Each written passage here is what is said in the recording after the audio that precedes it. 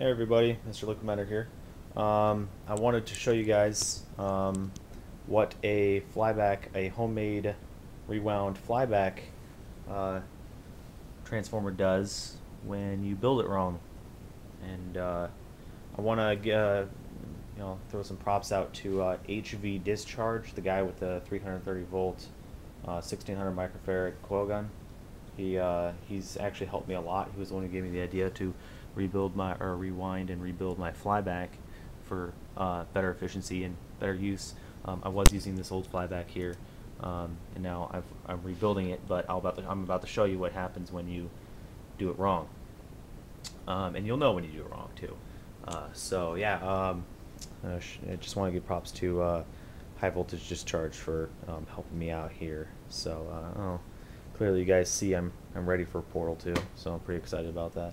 Um, but yeah, so here's what happens. What I've done is, this is the core from a flyback. Uh, old, old, old flyback. Um, came out of an old, old, old TV. Old TV. Anyway, um, old flyback. Uh, five, five windings primary, five windings um, feedback, and then about 350 volts. Uh, I'm sorry, 350 windings uh, secondary. Um, keep them away from the outside, obviously, because it'll arc to the sides, and that's where your field is. And then um, I'm putting in 12.5 volts at 1.2 amps, and I don't know what's coming out because um, you're about to see why. So here we go. Um, everything's hooked up. I just got to do is turn it on. Oh, and before I turn it on, I want to show you. See these green wires running up? Those are my output leads. You're about to see what happens to those as well. So here's what happens when you uh, build the coil wrong. I'm going to turn it on.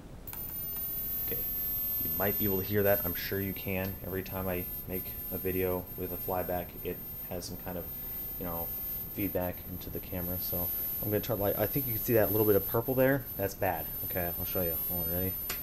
Okay, so there you go. That purple, every little streak of purple you see is bad. Okay, that is where there's a flaw in your coil. And as you can see, wish you folks can see this in person, it literally looks like it's spinning around the flyback core. It's actually, it's almost amazing to look at.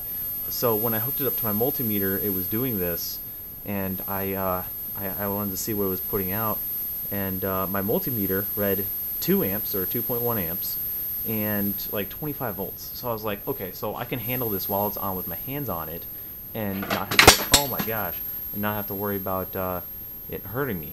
And so I did that, and it uh, delivered a um, very uh, painful shock. And it, this wasn't like your um, this wasn't like your uh, your camera flash, you know, 330 volt, 120 microfarad capacitors. I would have to say it was five times the pain of one of those.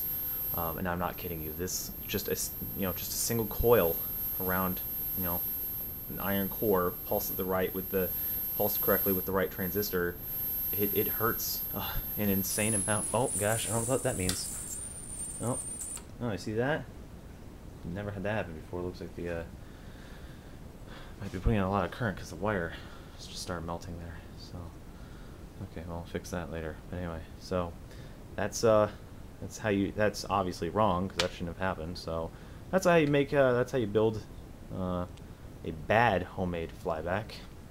So don't do that. Um, the transistors I'm using, I'm actually. A lot of people are asking me. Not a lot of people, mm, but a couple people, like two, are asking me what kind of transistors am I using for this circuit. I am using. They are MJE 13 009 transistors. They're like a dollar three thirty cents each. So I got four. Um, and you know, as long as they're hooked up to a heatsink like that, they can obviously handle 12.5 volts, 1.2 amps in. And then uh, the resistors I'm using for my voltage divider are uh, 22 ohm resistor, half watt, five uh, five percent tolerance, and a 220 ohm resistor, uh, half watt, 5% tolerance. So that's that. Um, let's see if I can if I can do this one more time without it doing anything bad to me without hurting my feelings. I think I know what it was. I think it just shorted at the top there. It looks like the enamel burnt off. So that's not good. Um, and this flyback, or this, yeah, see, that's all nice and cool, and resistors are, oh, that's all room temperature. Um, yeah, they get hot, but I mean, they're room temperature already, and that's the old, that's the size heatsink I use, and it's cool already. So that's cool. Um, so I'll try this again, see what happens. Yep, it's working just fine. Okay. Well, it's not working. It's but it's doing its thing again. it's kind of creepy to look at. So, yep. So, you know, thanks for watching, guys. I'm Mr. Liquimatter.